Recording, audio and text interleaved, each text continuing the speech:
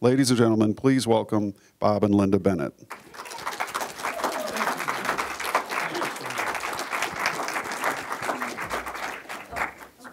Hi. Okay, again, good morning, everyone. Good morning. I want you to think a moment and just think, uh, since this is about the mind, what is the best gift I've ever received? Think about that. Yeah. Thank you. Now, a rhetorical question Was it as small as a mouse or as big as a house? Let me see. How many of you came up with the answer choices? If you did, raise your hand. Uh, I can understand. I understand. How in the heck can choices be a gift? Well, I want you to think about this. The very first and greatest gift that we were ever given, that we ever received, was our own gift of creation as daughters and sons of God. And we were created from love. And then after that creation, our existence, the second greatest gift that God blessed us with was free will. Or, in other words, the ability to make choices. So think if the Creator decided that the greatest gift that they could give us, that God could give us, was existence, and the second greatest gift was the gift of us making choices to choose our own way in our lives, as spirit and now as humans, then wouldn't you agree that the greatest gift that we've ever received is choices? It's that free will thing. So, to let you know, if you choose to stick around for the rest of this presentation, Linda and I will share with you how you may use the power of the mind in action to make choices for a happier and healthier way of life. Is that fair? Yep. First of all, isn't this a fantastic museum? this is phenomenal. And for all of us, all of us, uh, Dr. Russell and Lao Russell followers, it's so impressive and it just proves whatever the mind can conceive and believe it can achieve. So I want to thank President Matt Presti, your team, and all the people involved in putting this together. I know it was overwhelmingly, I, I don't understand how you did it, but you did it. And I think that we owe you all uh, a round of applause for that. So here Linda and I are, we're in the state of Virginia, and what an amazing history this state has. Uh, also for the renowned people that it's known for, people like George Washington, Thomas Jefferson, James Madison, James Monroe, Sam Houston, Stephen Austin, to name a few. However, the people that we're going to touch on today, they've not been acknowledged quite as greatly in history and touched on, for they're not warriors or statesmen, they are teachers of the mind. And so the geniuses and mystics that we talk about and that we refer to, I think for that reason, they never had what was called formal education. And I believe that for that reason, that's why they're not taught in school. And that's very, very short sighted of our educational system. For instance, I learned about Walter Russell while I was studying a near death experiencer by the name of Mellen Thomas Benedict. Now, I've studied about 2,000 of these people, one of which is right here. And uh, the people that have had, I've studied them to discover what life has for us when it opens that door to the next existence. And I look forward to hearing from PMH Atwater tomorrow. Uh, this is the third time that Linda and I have had the pleasure of getting to meet and see her again. So, studying the Russells has been life enhancing to say the least. And I'm presently on my 11th journey through the home study course on universal law, natural science, and living philosophy. I guess you might say I'm a pretty slow learner, but I really, really want to fully understand their teachings. Now, I'm still stymied somewhat by the science. However, we have read all the books uh, that the Russells put out, and many of them more than once. So, So Walter and Lao Russell uh, believed that balance was a really important thing, one of God's most important laws. They believed that man-woman balance was essential for having a productive and a loving existence throughout life. And Bob and I have tried to do um, to have that balance even before we were aware of their teachings. But sometimes it's been a challenge, hasn't it, Bob? yes, dear. I've learned very well how to maintain balance in the home. Yes, dear.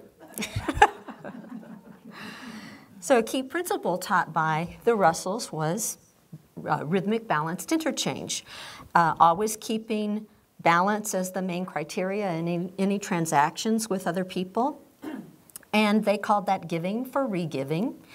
Um, if everybody in the world would do that, if they'd stay balanced emotionally, physically, mentally, spiritually, yes. this, uh, this world would be the heaven on earth that God intended it to be. So maybe someday. The Russells say during the age of character, that's how people did live until somebody decided that a few needed to be in charge, and then everything changed. So one caveat that we want uh, to make you aware of in this presentation is that we will be referring to our Mother, Father, God, our Creator, in male terms. You have to pick one. Um, so we'll say he, his, him, and all of us are sons of God. So Matt has told you some things about what we are, and now I'm going to share some things that we're not. We're not biologists, we're not dietitians, we're not therapists. We have no formal training in any medical fields, no psychiatry, no psychology. Uh, we don't diagnose any medical conditions. We don't prescribe any medications. We don't propose that we can heal or cure any illnesses or disease. But here's what we have done we've experienced a lot of stress, learned a lot about that, and we've learned a lot about the mind. And that's what we'll be sharing with you today. So, we're going to have some quotes on mind and action here. Uh, mind and thought. Uh, first one being, whatever the mind can conceive and believe, it can achieve. You've already heard that once here. Napoleon Hill wrote that in his book, Think and Grow Rich, in the 1937. A man is but the product of his thoughts. What he thinks, he becomes. Gandhi. As a man thinketh in his heart, so is he. James Allen. What we think, we become. The Buddha. And Edgar Cayce always said, mind is the builder. When you know your mind is the source of your power, you will command your body to strength and health. Dr. Walter Russell. So we found this and like these words a lot. Not sure who wrote them, but watch your thoughts, they become words. Watch your words, they become actions. Watch your actions, they become habits. Watch your character, it becomes your destiny. And again, we're not sure who wrote this, but it seems fitting that um, we should include this because remember, Lao Russell actually founded the International Age of Character Clubs. You know, I was fortunate to choose sales and marketing as a career for 50 years. And to do what Linda and I have done over the past four decades with the businesses that we own, we've always had to stay positive nearly all the time. Otherwise, we would have failed because nobody wants to buy products or services from negative, grouchy people. That's for sure. We started a telecom company in Kansas City, Missouri in 1981 that was built on the principle of rhythmic balanced interchange before we knew anything about rhythmic balanced interchange. We based it on a principle of just do the right thing. And that meant that in every transaction with customers, with associates, with suppliers. It needed to be a win-win situation. That company, although we don't own it anymore, that company is still in existence after all these years. And they've outlasted more than 420 competitors since 1981. So the transition to studying teachings of people like the Russells was almost a natural progression for us. And so we want to introduce some of those people that we're using as sources for our presentation. First of all, we're going to start with Walter Russell. Of course, that's why we're here. You all are familiar with the Leonardo da Vinci of America in the early 1900s.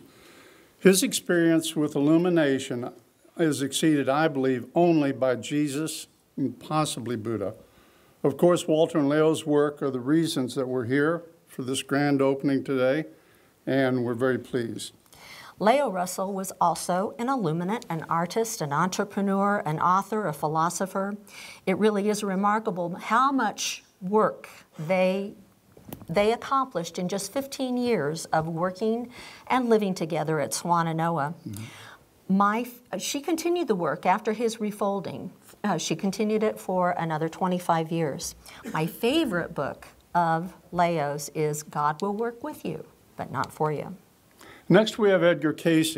Edgar was known as the Sleeping Prophet. He founded the Association of Research and Enlightenment Complex in Virginia Beach back in the 30s, and we visited that library also a couple of years ago.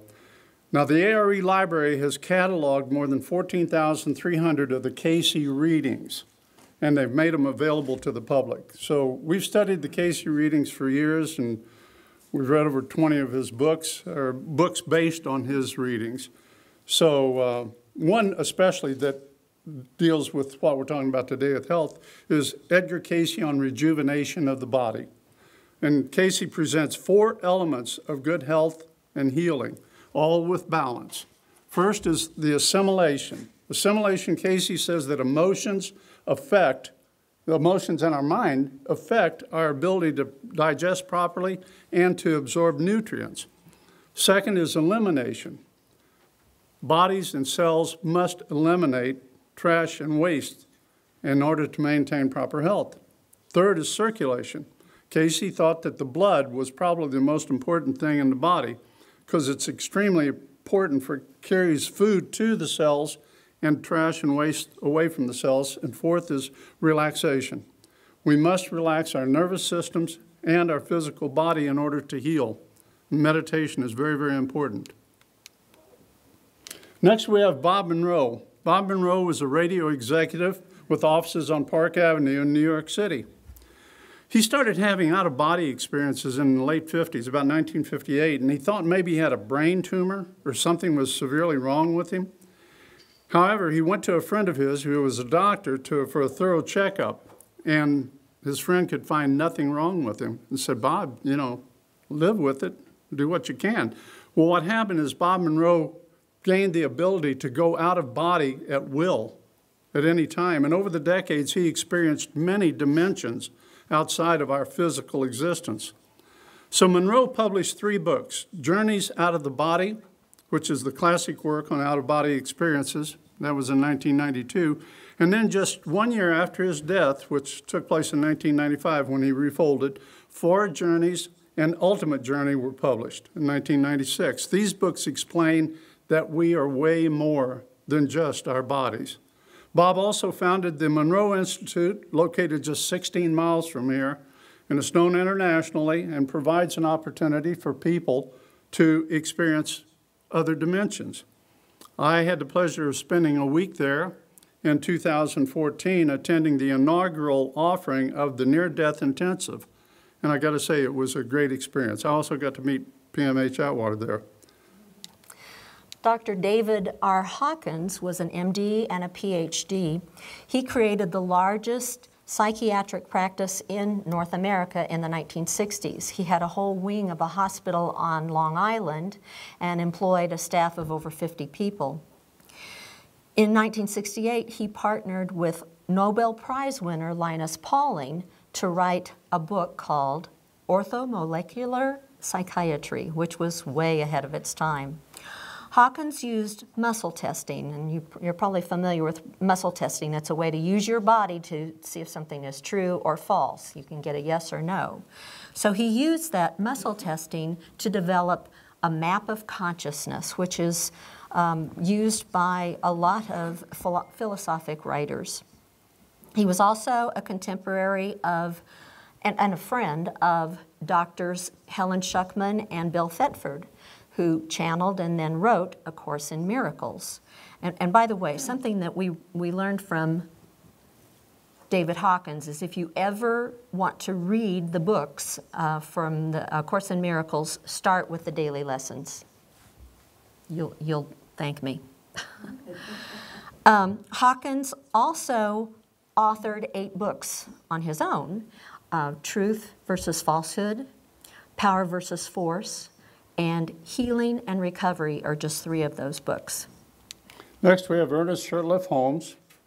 He actually founded the religious science movement, which der- derives from the New Thought movement from the uh, 1830s into now.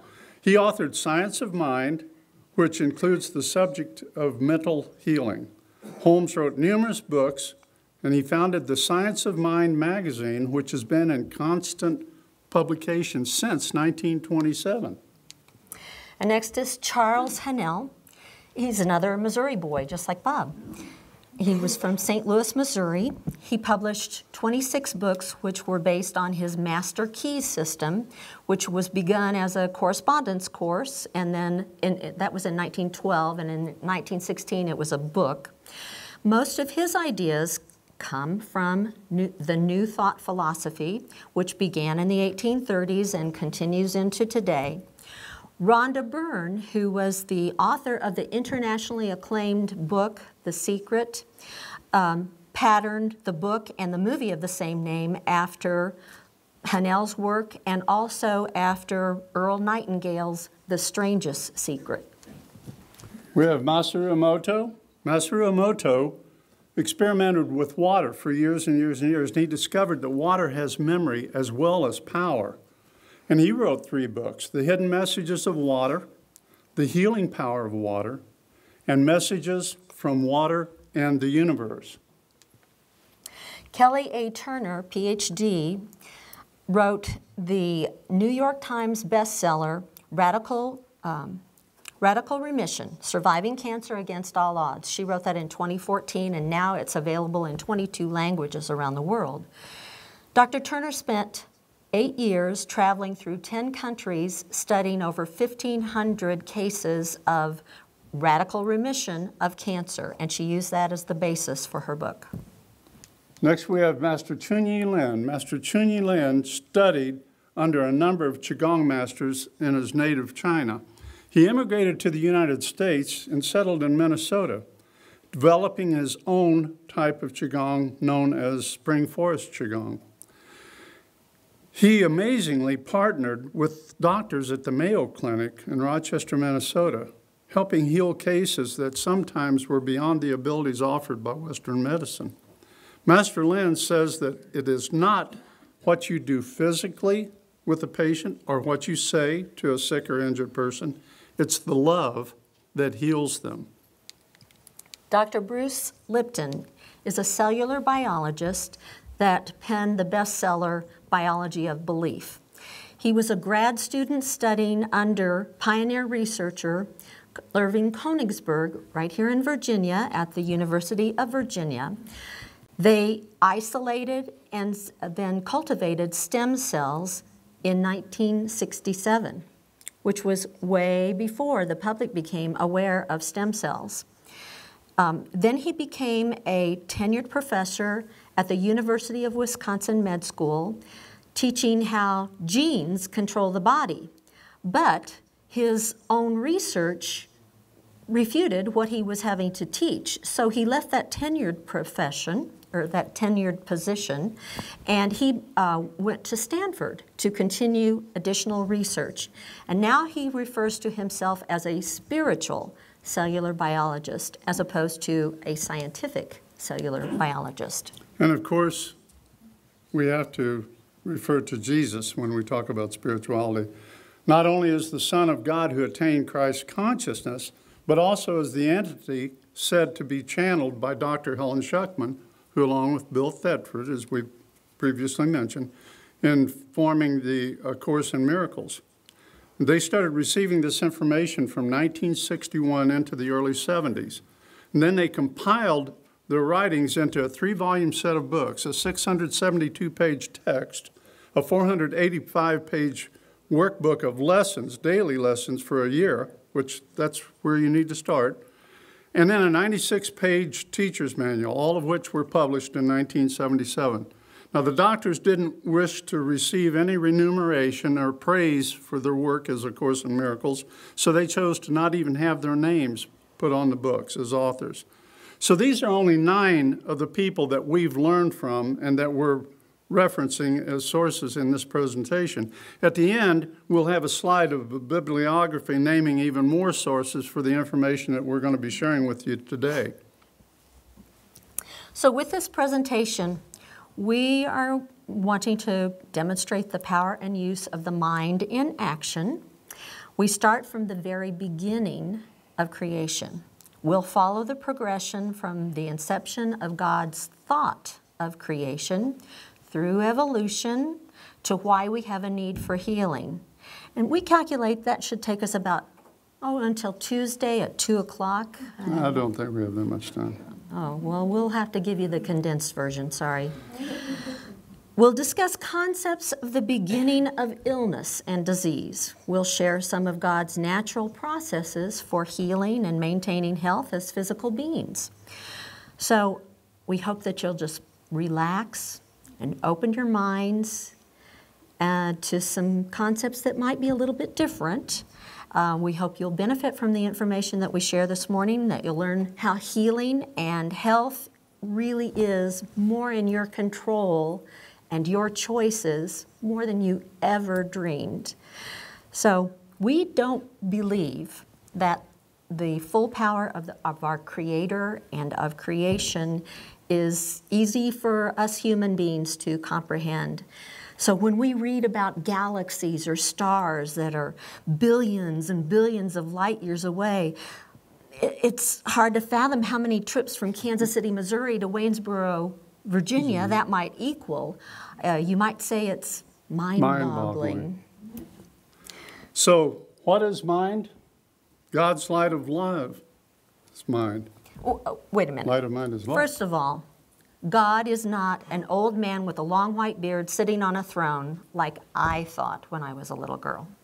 That's true. That's true. My, my mind is the electrical wave generated activating, activating agent providing creative power to spirit. So no appliance can work and do its job until it's plugged in. It's got to have power. And I'm here to tell you that mind is the greatest source of power in existence. God's mind power is love that desires to create. God's thinking is electric waves of balanced light. And God's soul is a recording of every finite experience of all creation. Mind acts as the seat of consciousness and essence of being. And some say that mind is all there is. So God is the great I am. God is all. God is love, giving, universal light of soul. God is sparkling mind of spirit or light. If there was a beginning, it was as an infinite, black, velvety void filled with love or mind. God's mind contemplated what it was, withdrew into itself, into a pinpoint of invisible light to think love and what love was to do. And love manifested desire, and from desire came creation. So, mind or love, which we refer to as God, desired to create. And from that pinpoint of invisible light, God created his body. According to the Bible, God said, Let there be light and there was light. Not incandescent light, but light as the basis of created vibrating matter. If there was a Big Bang, this was the genesis of it.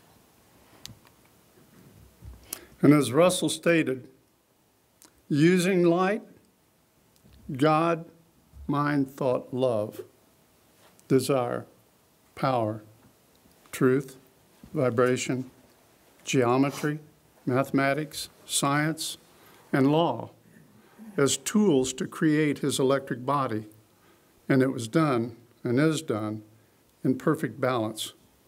God created cubes and spheres as the basic forms for building all of creation. God's electric body, the universe, is created by and from God's living light of mind or love. We are all part of and extended from the oneness of the mind of God. Every vibrating atom and cell of creation are connected through spirit. Now, scientists say that life began and grew from one cell to evolve to bodies of trillions of cells. However, science often leaves God out of the equation of creation. Spiritual experts say that bodies of creation remain connected throughout eternity. God's mind created an electric telecommunications. That, that's a slip. That's a Freudian slip. We owned a telecom company for 33 years. It wasn't telecom, it was just an intercommunication system tuned to all idea bodies. Nothing happens without, within a physical body without every cell being aware. As Dr. Russell said, God is within everything, centering it, and without everything, controlling it. So, God, light, spirit, love, giving, mind are all synonymous terms of oneness. This is a very eloquent slide from Walter Russell. However, don't even go to the trouble of reading it because it's so important to us that we're going to dedicate a slide to each one of the paragraphs.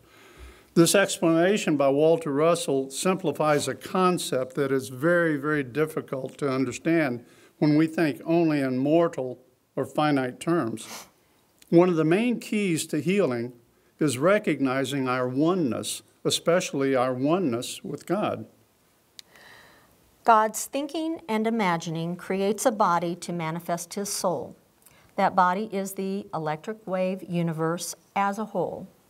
It is God's one idea divided by His thinking and imagining into countless million units of ideas, each having a differently formed body, but all manifesting the one by being extensions of each other. So everything in the universe is an idea body because God thought it into physical existence. You are an idea body. Each of us are idea bodies. Every tree, every leaf, every cell within every leaf is an idea body. Every rock is an idea body. There's naught else in this vast universe but moving bodies extending from the stillness of the cosmic light of soul, which centers thinking mind of God and man. All formed bodies are made in the image of God and man and extended through mind imaginings to manifest God and man. In other words, everything physical is comprised of moving bodies or atoms. Even in the most still boulder or mountain, the atoms are vibrating. The image of the imaginers doesn't mean the imagined looks like the imaginer. It just means that it is the image of what the imaginer imagines. Easy for me to say, huh? So, as Linda said earlier, God doesn't look like a human. He imagines our bodies in the image of humans, and God is invisible, and in reality, as spirit, so are we. So, how simple it really is when you think of it that way creator and creation being just mind imagined forms, electrically extended into electrically formed bodies, fashioned in the images of their imaginers. Again, this doesn't mean that God looks like man or that we, as spirit, look like man. As humans, we can't see God or the spirit of man. We only see their bodies, which are not really them. So God's body is not God, nor is God his body, just like your body is not really you, nor are you really your body. The true you is soul spirit, and God is also soul spirit, albeit tremendously more powerful um, and omnipotent, Both God and man are invisible to the human eye. Only their bodies are visible. So, how much more simple it is to think of the universe as one mind, one soul, one body, seemingly divided into many minds, many souls, and many bodies. This simply means that the visible universe appears to exist. However, it's only a projection from God's mind throughout the void, like a movie being projected onto a screen, only the projection is multidimensional. Our body is seemingly one thing, however, it's made up and divided into a community of a hundred trillion cells, each as an idea body and each with its own consciousness. You must really learn to think of God and God's body in that way before you can fully understand the oneness of all things. When you do learn to think of it that way, you will know that there are not two separate or separable things in the universe. Likewise, you will fully understand that all things are extensions of each other and the one. So, this points out the meaning behind the Golden Rule do unto others as you would have them do unto you, which Jesus taught. Or you might have heard what you do to others, you really do to yourself because we're all connected. Our lack of understanding oneness with God is the key contributing factor to sickness and illness. When we feel separated from our Creator, our main protector, we become vulnerable to physical, emotional, mental, and spiritual toxins. The perfection of God's universe is created with perfect balance, or as the Russell Home Study course states, rhythmic balanced interchange. So, what's amazing is just think that from this infinitesimally small pinpoint of vis- visible light that Linda mentioned a while ago, God used the tools that He developed to create the masterpiece body that we call the universe. Russell also mentions the kaleidoscope effect in the home study course. What is the kaleidoscope effect? It is the relationship of cause and effect. So, a kaleidoscope uses a couple of mirrors and some broken shards of glass, but then when you add light and movement or vibration, you create thousands of beautiful effects that are constantly changing. That's just like God's body. God uses His tools music, harmony, geometry, vibration, mathematics, science, system, and balance, and his forms, cubes and spheres, which are comprised of only 118 known elements. And he uses those just like the colored glass in a kaleidoscope to create billions of beautiful effects projected throughout that black velvet void of space. God is cause, and his body is the universe of effect. Although we are one, we still live in two universes. We live in the undivided, silent, invisible universe of mind, love, or God, and we also live in the divided, projected, electric universe of matter and motion. The, the invisible universe just can't be seen. So, as Russell says, what you see, you cannot know and what you know, you cannot see. You know the truth, but what you see is an illusion of vibration.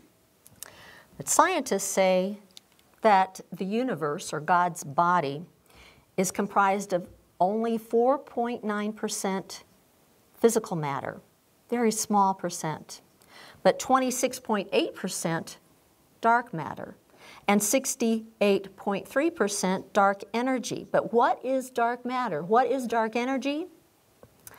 They don't really know. It's supposedly what makes up the great empty blackness of space. Thinking logically, the answer is that all is God and extensions of God. Or mind and action.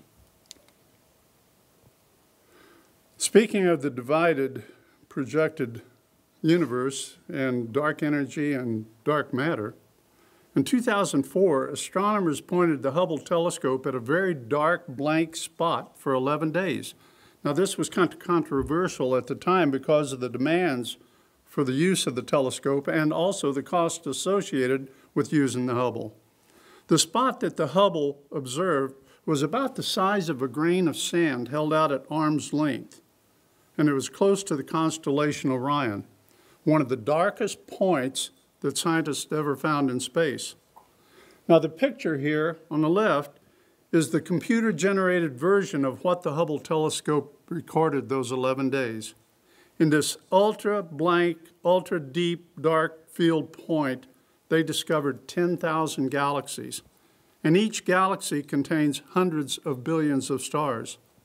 So imagine 10,000 galaxies with hundreds of billions of stars, all in a point about the size of a grain of sand. So just think how many points are there like this around the earth? The enormity of the universe is truly humbling. And again, the only logical answer is that all is God and extensions of God. And the body of God is truly a magnificently infinite structure.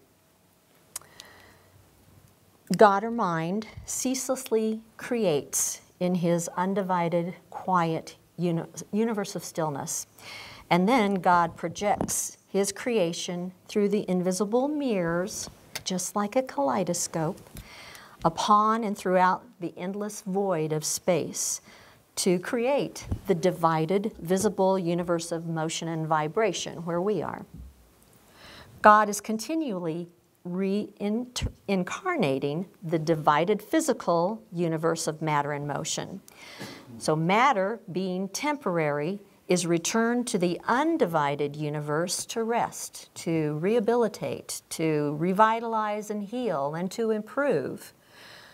To improve God's desired electric body. So, healing and re- recreation in this matter is continuous and repetitive at all levels of physical existence.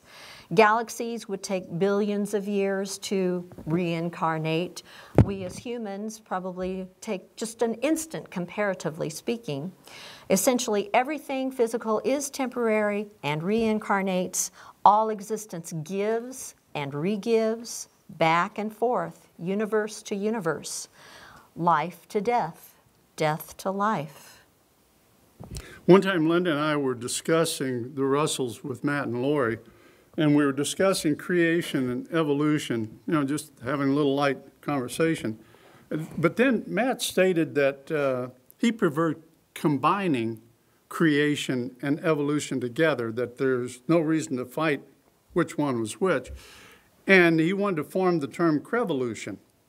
Well, Linda and I liked that so much that we acquired it as Mark Twain would say, we acquired it artistically. Or in other words, we stole it in order to use in this presentation. So, as God imagined and created his body, he desired companionship, a family. His desire manifested with the creation of soul spirit sons of God. And God's sons were created in his image of invisible perfect light to be co creators with him. God bestowed free will. Have you heard that term before? Free will upon his sons to allow diversity, companionship, and creation. God did not wish to have exact replicas or little godlings thinking or doing the same things that God was. He vowed to never, ever interfere with their creative abilities and never interfere with their free will. Now, God did, however, hold the right to invoke any of his laws, like the laws of nature or other laws, to correct any imbalance created by his sons. Thus, there is always perfect balance throughout the universe. So, with free will, God's children learn by exploring and experiencing God's body, the physical universe of matter and motion. God's mind created time, a tool of measurement, and time was not needed before our physical universe was created. The sons of God spent eons exploring God's body of projected physical matter on space. And many of the sons of God began desiring or imagining having their own bodies of created matter. Spirit's desire for their own bodies led many of them to experiment with ex- inserting themselves into and out of created matter. You know, like going in and out of rocks, or in and out of plants, or animals, just to get the feel and the experience of physicality. The problem is that we, as soul spirit children of God, began to use our free will to put ourselves above all else. And through our selfishness and our desire to create our own bodies and lives, we spent too much time in our experimental bodies. And the more spirit experimented with inhabiting physical matter, the more we became addicted to this physicality. And these experiments resulted in us sons forgetting our spiritual heritage, and we became trapped within our own physical bodies of matter.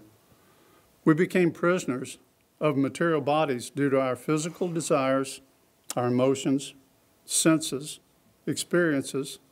We were trapped.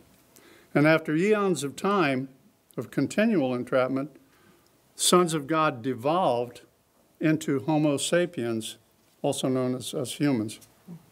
This devolution from pure spirit to Homo sapien bodies coincides with the evolution from one cell entities to bipeds, like apes, to Cro Magnon man to Homo sapiens.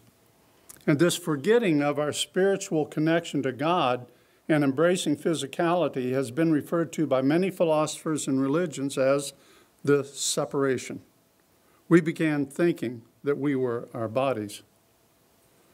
However, in order to exist and survive, man's bodies had to create symbiotic relationships with various organisms such as microbes, bacteria, viruses, parasites, etc.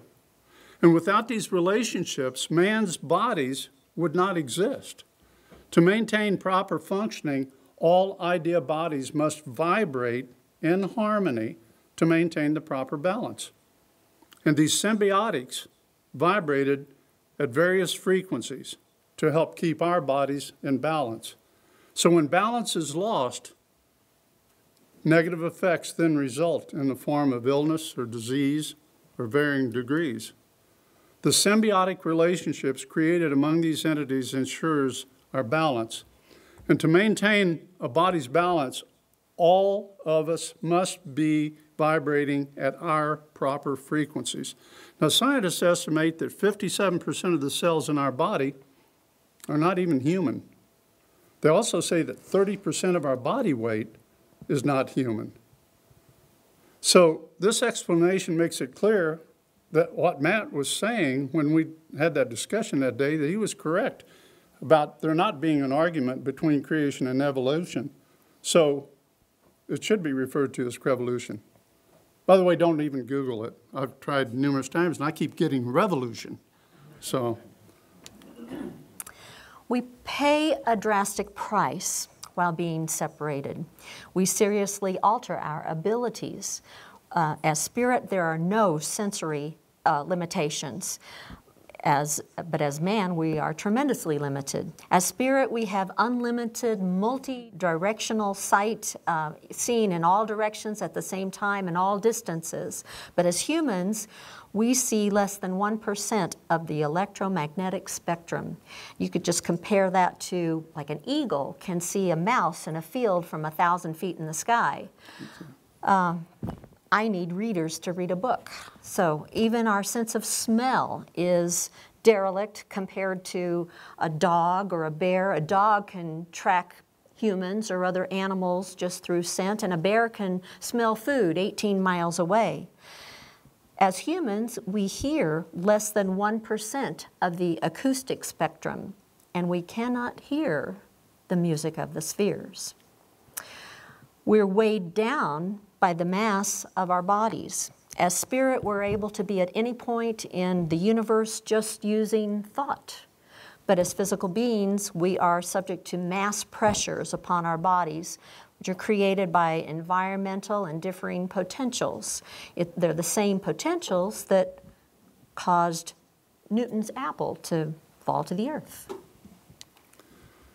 Man lost awareness of the body that we had created was really a temple housing our spirit and our connection to mind. Our bodies became more important than our spirit, our true selves. So, without the balance of God within us and knowledge of Spirit within us, our material bodies became vulnerable. Yeah, our bodies are temples to house our spirit and life force to mental, to mind. Not knowing a connection to a protective power, we developed some emotions, one being fear. The emotion of fear vibrates at frequencies that are very damaging and can be damaging to mind and body. Prior to the separation, there was no need for healing. As spirit, the children of God were created perfect and always were in balance. Therefore, with perfection, there's no negative influence like sickness or illness. And after the separation, electrical potentials start affecting man's physical body, creating many types of stress. Separation from God's balance is a direct cause of human illness and disease. Edgar Cayce says, quote, the only cause of illness or disease is the toxemia of unbalance. So this is true, for when we don't know the balance of God within us, we're weakened. So separated man desired a superior force to protect himself. And so we created an unreal protector and guide to the world, which we call the ego. That unreal protector, that ego, embraces its fear laden power over our body and our senses and mind. The ego desires to completely rule the body, mind, and spirit.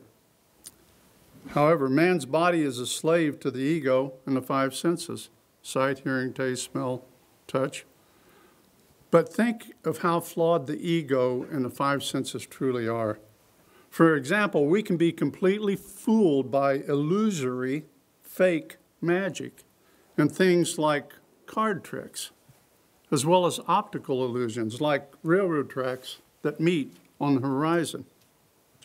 Our senses are very, very limited, while our spirit is not. There's only one mind. However, due to desire, the separation, and the physical and sensory influences, man created stratified aspects of mind. These aspects are created that uh, we created the conscious, the subconscious, and the superconscious. Now, according to science, the brain processing power is 13% conscious, and a whopping 87% subconscious. The superconscious is that invisible connection to spirit. Our conscious mind is not very powerful, and in computer language, it leaves a lot to be desired. For instance, it operates only at about 2,000 bits per second, and it controls our existence about 2 to 6% of the time.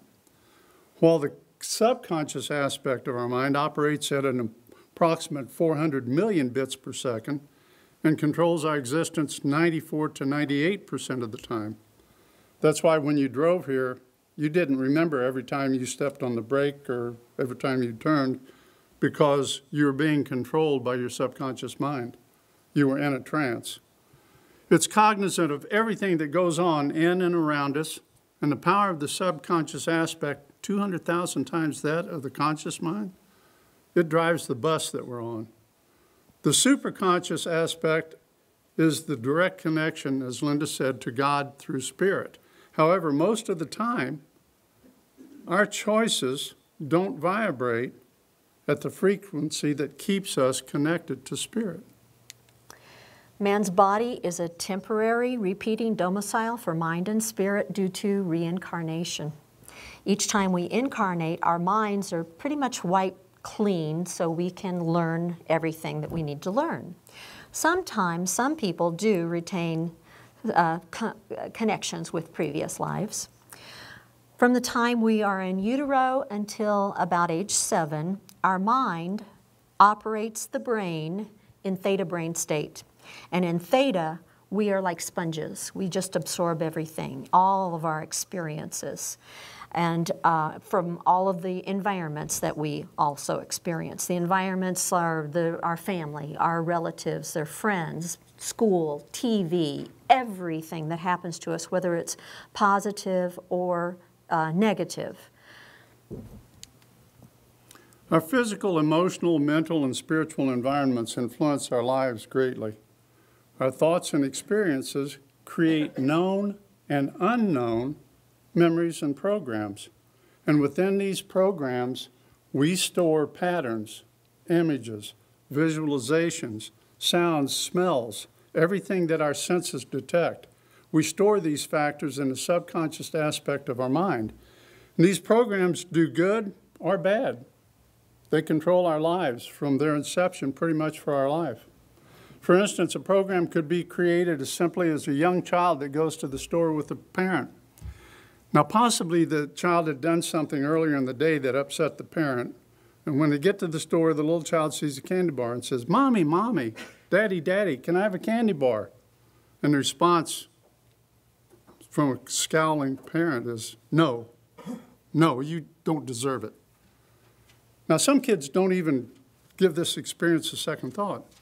However, others very hurtfully will think, I don't deserve it. I don't deserve it. And it creates that program within them. And even though the, kid, the kid's conscious mind may forget about it quickly, the subconscious never forgets.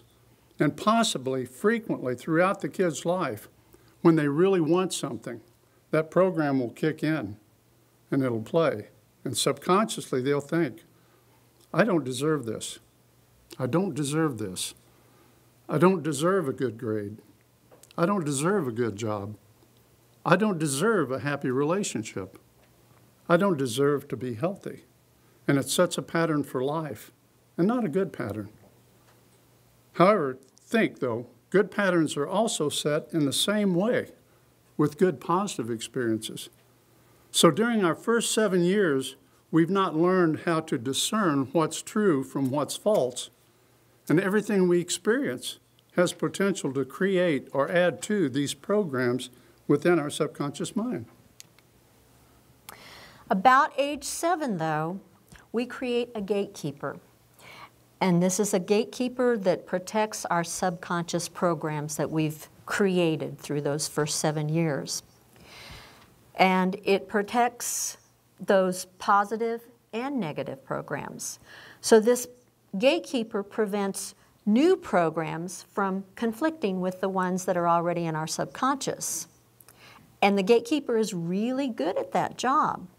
And it allows those embedded subconscious programs to just run free, and we, that's how we live our lives. And when we attempt to use the conscious mind to change programs in the subconscious mind, it rarely, if ever, works because the subconscious is so much more powerful than the conscious. So if your program says, everybody in my family is fat, so I'm supposed to be fat, that's why diets don't work. And you may even lose weight, but sometime, somewhere, that subconscious program is going to kick in again and you gain the, all of the weight back and sometimes even more in order to change those programs, you, you, you have to go in and learn how to release and let them go in order to create a new program.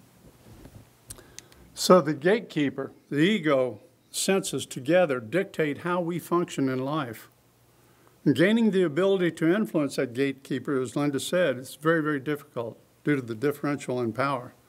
And the more we create balance in these programs, the greater our life will be rewarded. Although these programs or patterns are very much embedded and control most of our lives, there are some very effective techniques for rewriting and reprogramming those embedded programs. And Linda and I have spent years learning many of these techniques, and we've seen them change people tremendously for the better. And what is great is that these techniques work at the speed of thought Thus, the name of our practice changes at light speed. Man's body is a battleground where the ego, which is fear, battles the spirit, which is love.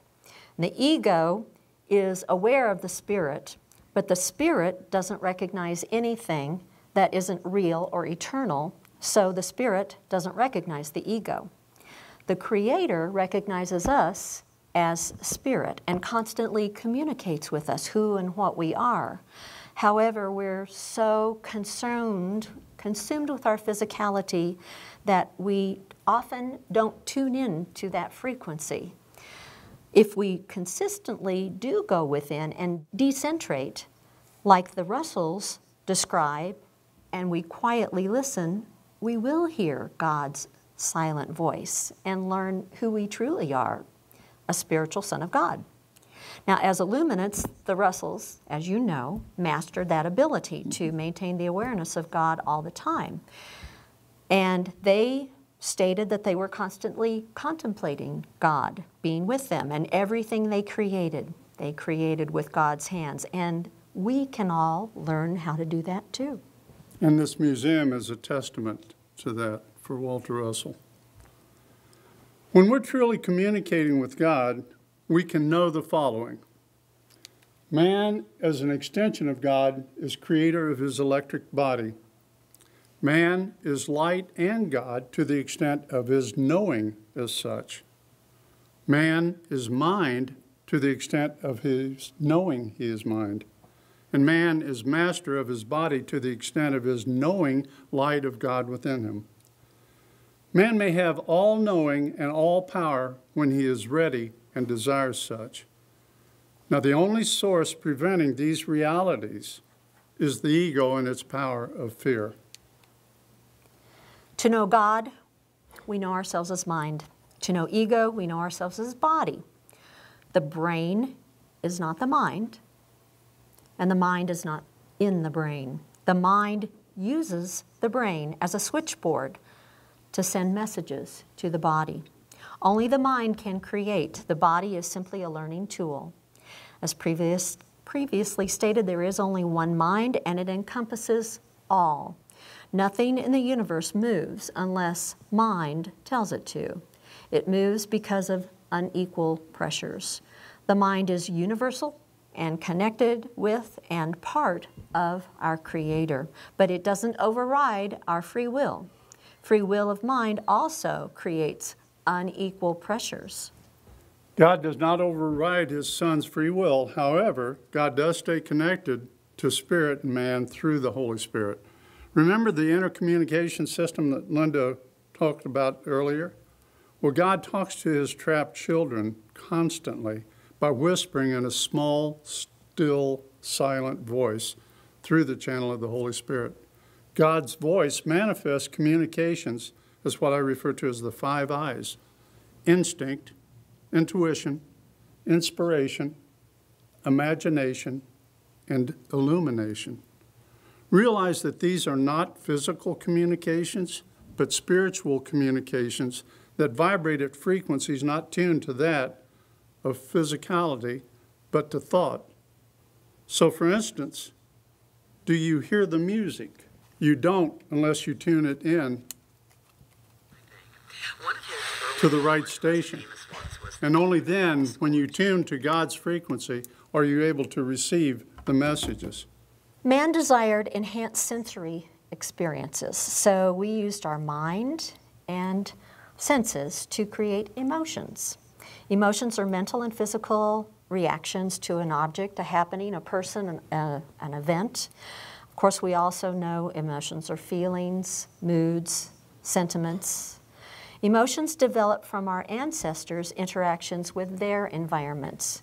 And those inter- interactions involved everything from sitting by a peaceful stream in nature to running away from a scary saber-toothed tiger to save your life. So some, body, some books list as many as 440 negative emotions, but they only list 297 emotions that are hmm. positive. In fight or flight, in the fight or flight response, which is based on fear, it causes over 1,400 reactions in the body. Uh, this includes the re- release of cortisol, which is referred to as the stress hormone.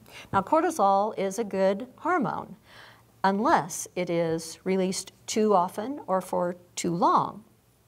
And then it becomes toxic.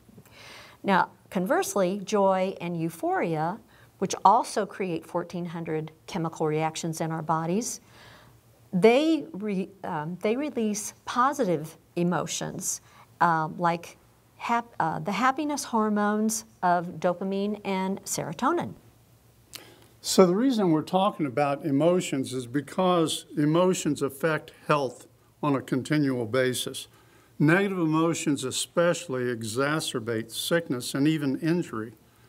So there are only true, two true human emotions, and those are love and fear. This is according to A Course in Miracles. All other emotions are derivatives of those two main emotions.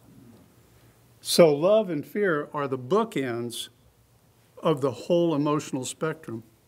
Now, derivatives of love are positive and healing mentally, physically, spiritually, and emotionally. Derivatives of fear create negative effects and are toxic to the body and mind. These toxic effects create mental fears, physical diseases, and emotional traumas. Emotions trigger glandular activity within the body, like the cortisol Linda mentioned. Now, unlike man, animals, which does not really carry a human-like consciousness, they experience fear when a predator is chasing them. However, after the chase is over, they're either eaten or if they escape, they just simply shiver and release the fear from the trauma when they're no longer threatened. They release it and let it go. Man, on the other hand, dwells on what could have happened. Oh, I could have been killed. I could have been maimed. I could have done, I could. And they keep the fear dwelling within them, continuing to release these fear hormones and damaging the body with fearful, caustic thoughts that become toxic to the body. So realize that love and fear cannot exist in the mind simultaneously. It's a physiological impossibility. So, with free will, we can choose which emotions drive our consciousness if we really desire to. Here's a bodily map of emotions. There was a group of departments from two universities in Finland that did research on how emotions affect the body. And they processed PET scans of people who were in differing emotional states. Now, these pictures show how varying emotions derived from love and fear light up the cells, tissues, and organs throughout the body. Researchers refer to these as suppressed or trapped emotions sometimes. Many studies have discovered when the conscious mind becomes overwhelmed with negative or even positive emotions, they must shunt them off in some direction, so they shunt them to the various tissues throughout the body different parts. These emotions are the ones that the conscious mind can't process thoroughly or effectively, and that's why the body winds up absorbing them. However, when these emotions are properly processed and released using various methods and techniques, like energy psychology, balance can be restored to the body and healing is what usually takes place. So, derivative emotions that are out of balance create negative effects like fear, anger, hatred, frustration, overall stress. And these are toxic and cause the endocrine system glands to release stress hormones, which can result in any of these multiple things brain cell death, increased aging, all these negative things can occur. God's ecstasy of love we humans often let emotions, ego, and senses rule our bodies, as said before. We believe that what applies to us also applies to God. We try to make God in man's image. And in error, man has tried to attach human emotions like anger, vengeance, wrath, and more to God. But to God, human emotions are unreal and do not even exist. So God's only emotion is the ecstasy of love.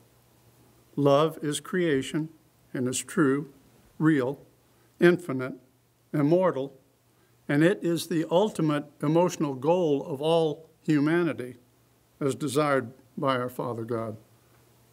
Father, Mother, pardon me. Fear, which is the opposite of love, is unreal, temporary, destructive, and creates unbalance. Stress is the result of any mental, emotional, physical, or spiritual unbalance. The American Institute of Stress, I'm sorry we have to have an Institute of Stress, but anyway, they have a lot of statistics about stress. 77% of people regularly experience negative physical results due to stress. And 73% get psychological symptoms.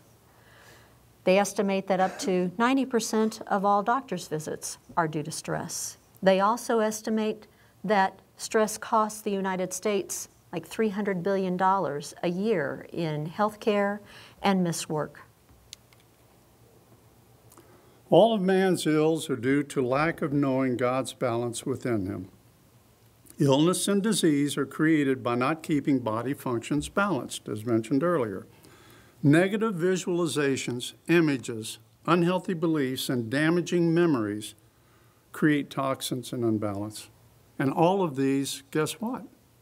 They're mind choices. Toxins and unbalance are a result of negative effects of wrong thinking. Now, wrong mindedness or wrong thinking is listening to and following the ego and the senses. There's something called the quinine mind. Back when the Panama Canal was being erected, hundreds of people died from malaria, maybe thousands. And studies found that many people who acquired malaria could be healed only with quinine, nothing else. Like the blind man in the Bible, where Jesus mixed his spit with dirt and rubbed it on the man's eyes to cure his blindness. Jesus did that because he knew the man's belief system and he knew the man could not be healed in any other way. In John 16, 12, Jesus says, I have yet many things to say unto you, but ye cannot bear them now. So man at the same time was just not consciously advanced enough to understand what Jesus wanted to teach them. So, at all times, toxic microbes, bacteria, viruses, and parasites inhabit and surround our bodies. However, we don't get sick all the time, do we? It's only when we get too far out of balance, and that unbalance could be in attitude, in nourishment, in exercise or lack of it, rest and sleep, uh, belief system, emotions, and spirituality can all unleash negative effects of these threats and, and cause sickness, disease, even injury. Sickness and disease are mind created from the toxemia of unbalance. Disease is mentally contagious through suggestion. If everybody else in the office is getting sick, oh, then I'm going to get sick too. What the mind conceives and believes it can achieve. And this statement is for good and bad. For instance, in Dr. Lissa Rankin's book, Mind Over Medicine, she explained how so many new doctors start experiencing the same illnesses that they're treating their patients for. She states when she quit medicine, she was being treated for three terminal conditions. After she'd been away from medicine for a couple of years, those conditions, all but one, just faded away. She relates uh, that it was because of the stress of being a doctor. However, remember, we can choose to have stress or not. Um, it is part of that free will. Bob and I have had clients that heard about a disease or had known somebody who had a disease, and then they got scared that they might get it, and they worried about it, and they researched it, and they got, spent hours on the internet, and guess what? They got it. The mind is um, very, very powerful in negative and positive ways. So we have root causes of sickness, steps to healing, of course, the first thing mentioned is the belief in the separation from God. And one step to heal that is very simply accept the fact that we are physical, but we have a spiritual balance within us. Feeling the lack of love. Most all of us never get loved the way we want to be loved. Even though others love us, they don't do it exactly the same way that we want to be loved. So instead of worrying about what we're getting, why don't we just give love out? Because you can't run out of love. It is infinite. Love for regiving. Belief and fear, any fear, is detrimental to your health and well being. So, what you do is accept the fact that you have divine power within you. And guess what? Divine power represents love. Where love exists, fear can't. Next, we have the inability to forgive another. Well, it is tough to forgive somebody that's really hurt you. So, what you want to do, forgive their spirit because their spirit is perfect, just like your spirit is perfect. And don't even consider what they did to you as being forgivable. Just release it and let it go. And you'll see how freeing that can be for yourself. Emotions derived from fear. Best thing to do, think of right mindedness. Again, you have a choice. You can choose fear, you can choose love. Love heals, fear makes you ill. Physical, mental, and spiritual toxins. Use the power of the mind and the body appropriately. Use proper diet. You know, you, for the physical aspect, use proper diet, get rest, but also for the mind, make the proper choices and think with right mindedness. Now, I realize these steps are easy to say, but they are more difficult to do. They may require guidance and help because often it's easier for someone on the outside to see your patterns and your programs than it is for us to see them ourselves. The healing principle is within man himself. Man's power to heal himself or extend his healing power to others is measured by his awareness of God in him from the message of the divine Iliad. I'm sure that most of you are familiar with the placebo effect. It is the mind and body's great ability to heal. Placebo accounts for approximately 30% to as much as 90% of healings. Most placebo studies center around using a, a, a, sugar pill. One study found that a pure white sugar pill creates healings of 30%. 30% effective in healing. Other studies proved that when you add a letter to the pill, or maybe you change the color, or change the shape of it, or even change the method of delivery, and, and instead of a pill, you're using an injection, the effectiveness of the placebo can go up to 90%. There have also been four research studies over the last decade in which orthopedic surgeons performed sham placebo arthroscopic surgeries on patients with damaged knees.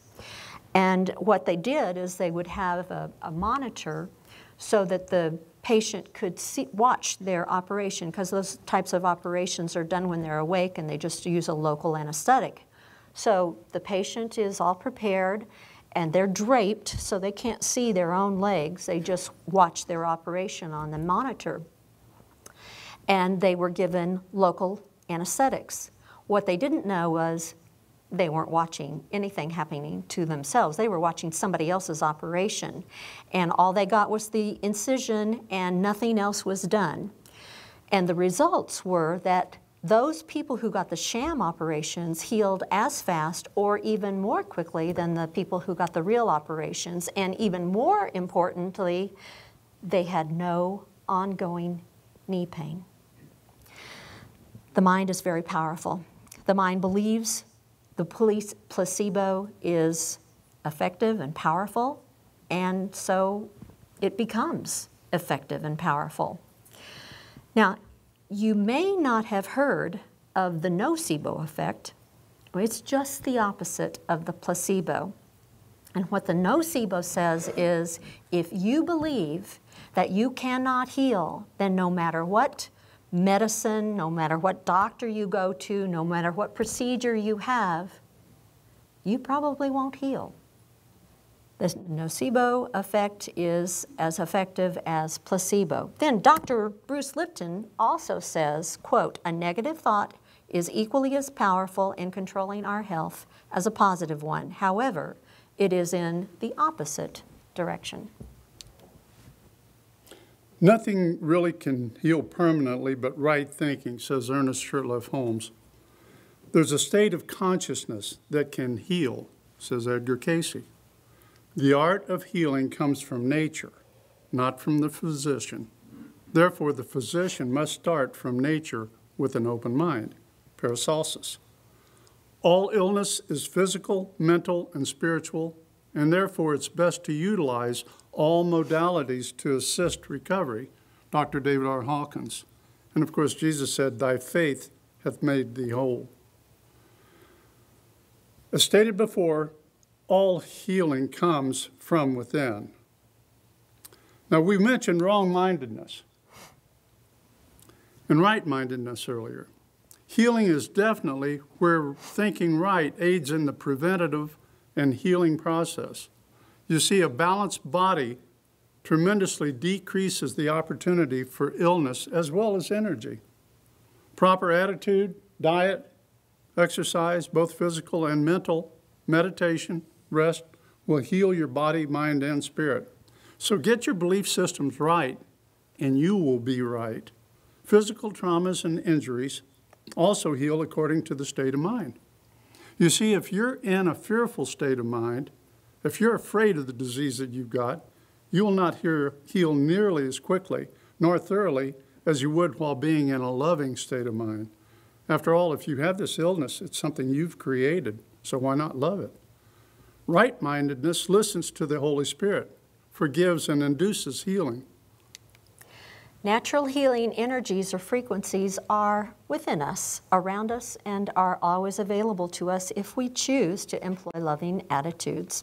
All healing of every nature is by changing the vibration from within. And everything vibrates at precise frequencies, and when we get off frequency, we get unbalanced.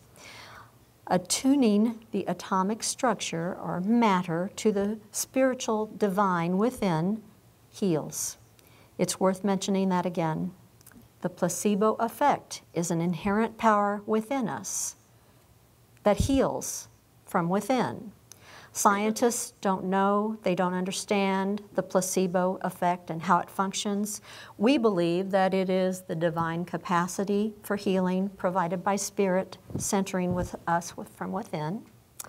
The more we believe in a placebo, whether that is a, real medicine, a, an herb, a procedure, a doctor, a hospital, the more we believe, the more powerful and the more uh, effective it is in healing. The more we change fearful thoughts to loving thoughts, the greater our health improves. Love may be the placebo. So let's look more about how the mind brings about healing. Well, just as God renews his body, the universe, man's mind also cycles and renews his physical body. For instance, more than 93% of your body is replaced every year. Now, Edgar Cayce states in his readings that physically you are never more than seven years old, meaning that every cell in your body has been replaced within seven years. And God will work with you, but not for you. Lao Russell states, not one particle of you is older than one seven hundred billionth of a second. Now, 72% of our bodies is water, and it's replaced every 16 days. Skin cells are replaced every four weeks. The lining in the stomach and intestines every four to five days. The liver is replaced every six weeks. The heart cells are replaced every six months. So you see how temporary we are? Life and death takes place simultaneously, second by second, within our bodies, from birth throughout life. Now, the natural divine power within us that is centering us, centering our body, it repairs, removes, and replaces millions of cells every second. That's billions every hour. On average, we eliminate one to two pounds of dead and dying cells per day through our breathing, sweating, excretion, and all of our forms of elimination. If we didn't do this, the refuse would become toxic and kill us. Now, many times you can experience this by weighing yourself at night, right at bedtime, and then again first thing in the morning when you get up, and notice the difference. You know, if I didn't have this ability to rid myself of all these dying cells and refuse and such, and I just kept adding cells throughout my life, at my age, I'd weigh 23 tons, and I'd smell pretty bad. So speaking of our bodies being 72% water brings us to Masaru Emoto and his research about how water is affected by environment. Memory is the faculty of the human mind by which information is encoded, stored, and retrieved, and it was discovered years ago that water also has memory. Scientists have proven that. And if you look at that first picture, that's um, a picture of a water crystal that was taken from the Fujiwara Dam area in Japan. And it has no balance, no real form, no real shape.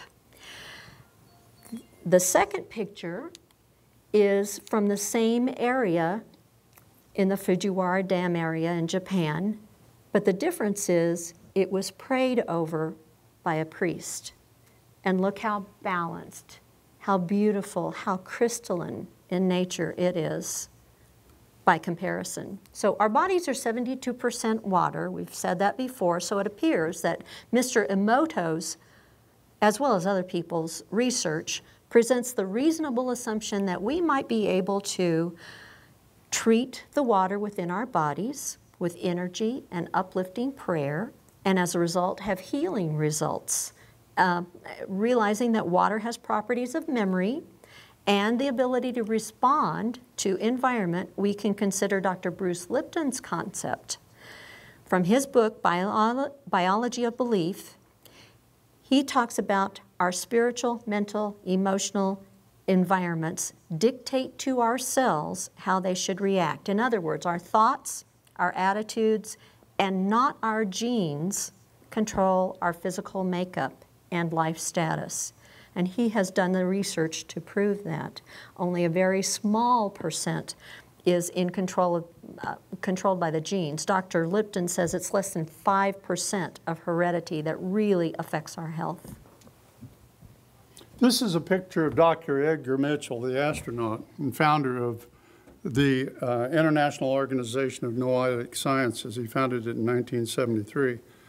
Now, one of the subjects that IONS decided to study thoroughly was spontaneous remission or spontaneous and thorough healing from life-threatening illnesses and diseases. In 1999, IONS released a bibliography of 3,500 plus experiences that all of a sudden they'd been given up on. These patients had been deserted by the medical community, told that just go home and die.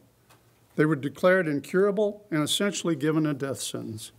But when the patient released their illness to the divine, they balanced mind, body, spirit, and they had a spontaneous remission. So, how did these patients recover? Well, there are many different stories. However, the most consistent was that they chose just to let go and let God. They allowed the divine within them to become first, and it wound up saving their lives. Just letting go of negative influences helped them to heal. Norman Cousins was the editor in chief of the Saturday Evening Post from 1942 to 1972. He was known internationally and won a lot of awards for his writing and other accomplishments. He took a trip to Russia in 1964, and after that, he developed ankylosing spondylitis, which was considered to be a, an incurable disease by the medical profession. The, the doctors told him that he would die within months and they gave up on him. So, but he discovered that when friends came to visit him and they got him to laughing, then he could sleep for an hour or two. All the rest of the time he couldn't sleep because he was in such extreme pain. So he checked himself out of the hospital and into a hotel across the street. And every day he was watching movies, funny movies, especially, especially Laurel and Hardy, he liked that. And he laughed every day a lot. Well, he also took extremely high doses of vitamin C, which was recommended and researched by Linus Pauling. In six months, he was back on his feet. In two years, he was back to um, work full time. And not only did he get back on his feet, but he was also playing tennis. And the doctors had told him that he had never, he could never play that again. So, Norman Cousins also wrote a book called Anatomy of an Illness to talk about his experience. And this became a movie too. Ed Asner played it, played Norman Cousins. This is Lester Levinson. Lester was actually known for being a very brilliant person, was considered so by his uh, academic achievements. He was a physicist and an electrical engineer. In 1952, at the age of 42, Lester had his second major heart attack. He was told by his doctors, Lester, go home, rest.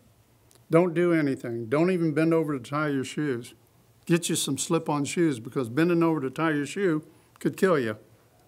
He was told that he could die any moment, but the doctors relented and they gave him a couple of weeks, maybe a month or so. They were really nice. Lester went home very distraught, started thinking, how in the heck had I created this terrible problem with my health? So, after analyzing his situation, he found that when he felt that he wasn't loved or in a loving mode himself, he felt bad. But when he felt loving and he felt loved by others, he felt good. So he was still alive a few weeks later. He decided he had nothing to do, nothing to lose. So he started researching his memory for all the times that he felt bad. And then he used forgiveness and love to erase and release all the negative feelings generated by those bad memories, those negative emotions. From this process, Lester created what's called the Sedona method, also known as the release technique. And when you properly apply this technique, it helps you release all negative emotions associated with memories and feelings. And when the mind and body becomes balanced in this manner, then the result is healing and longevity.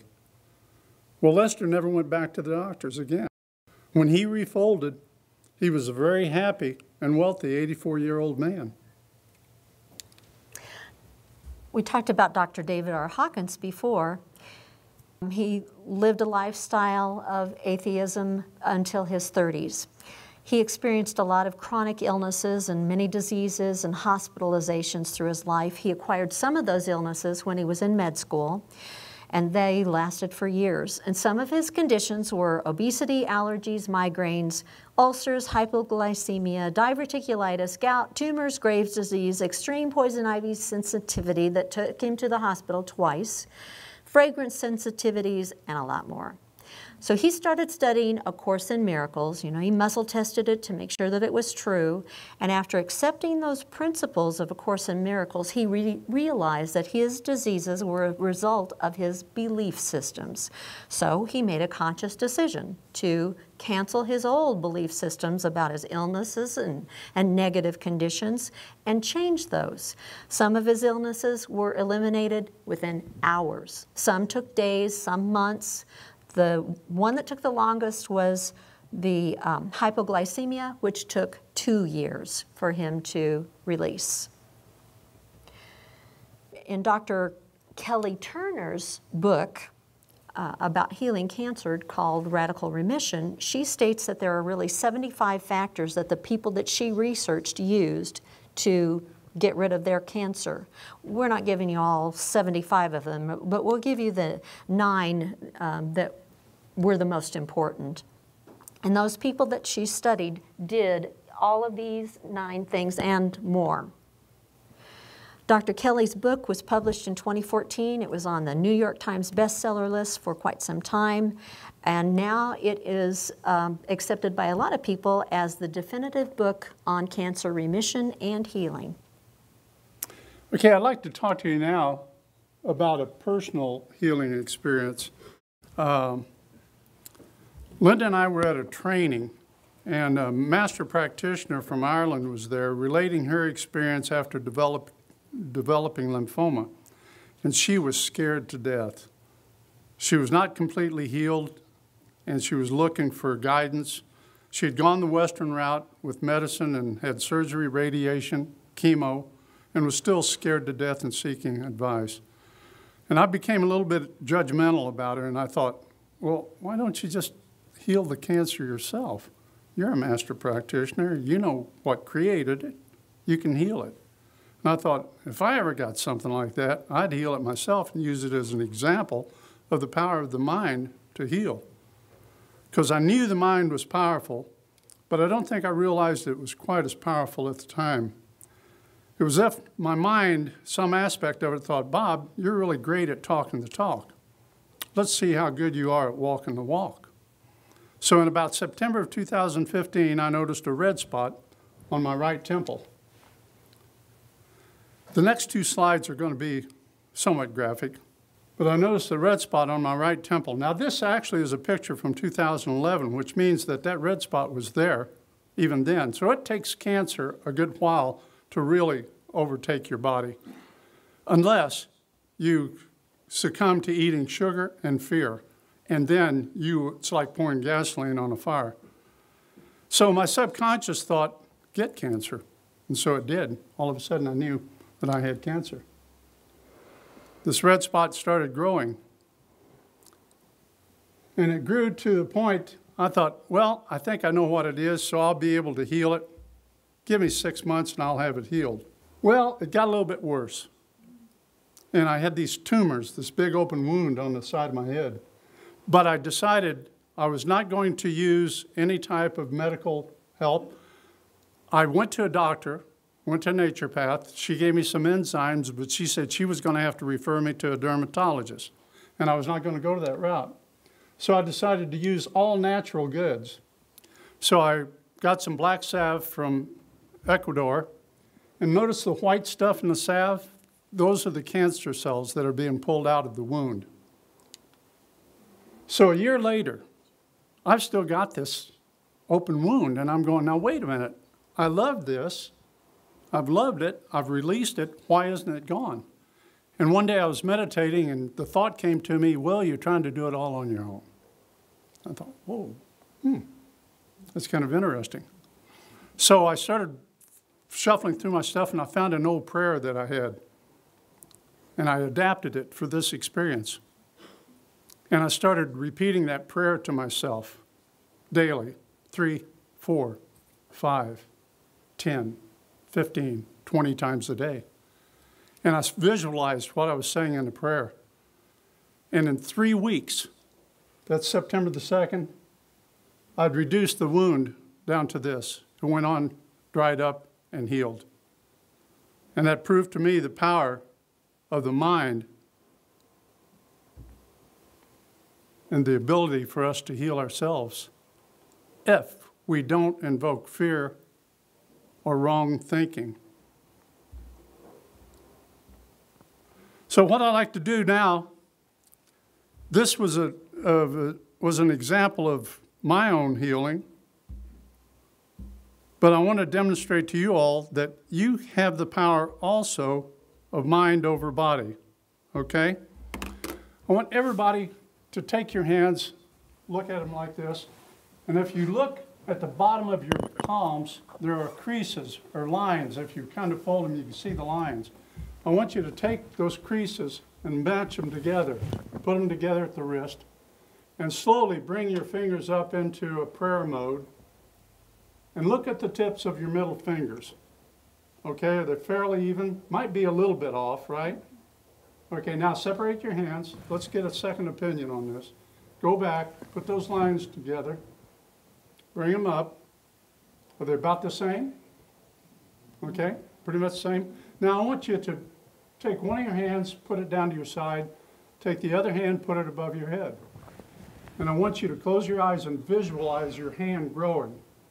Okay, repeat after me. I feel my hand growing. I can feel the tingling. feel- I can I feel feel the tingling. power of the mind over my body. Power of the mind. I can body. feel it vibrating. can I can it feel it, and I know that it's extending. I can feel it and I larger it's and extending larger. larger and That larger. finger is growing. Finger Okay? is growing. Now, open your eyes, bring your wrist back down, put those creases together, and bring your fingers up and see what naturally happens. How many of you, how many people grew their fingers? All right? And for those that didn't, don't worry about it, because sometimes we let other stuff get in our minds. But it just proves to you the power of your mind over your body. So the same thing happens. It comes down to choices, whatever we choose to do. Thank you all for participating. I hope that that was beneficial. In summary, we're going to just quickly go over what we talked about. Mind is God, light, love, as oneness, created the universe as his body. God created soul, spirit, sons as companions and gave them free will. Sons of God desired physicality and used God's idea bodies to become man. Prolonged time in the chosen idea bodies caused the separation from God. And separation caused fear as the opposite of love. And from fear, man created ego. Ego, as replacement for God, causes negative effects in man's lives. God is mind and love, and not his body.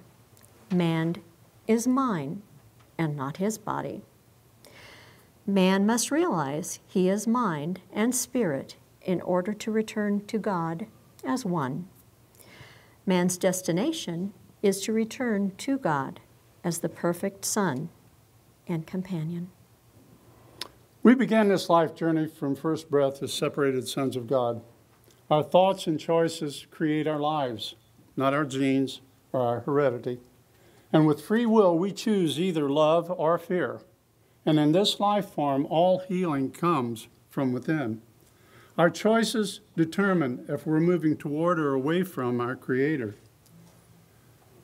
Knowing ourselves as mind and love returns us to the Creator. And to return to God within, we must also learn to think of God, but we have to do it on a constant, regular basis. So sometimes I tell people just with every breath, remember that you are God and part of God. And here's a quote by Dr. Wayne Dyer that I really like Heaven on earth is a choice you must make, not a place you must find. So here's the bibliography of some of the other sources that we've uh, utilized in putting this together. And so from us, we hope you have good health and good healing. Yep. Thank you. Thank you. Thank you all very much. Thank you.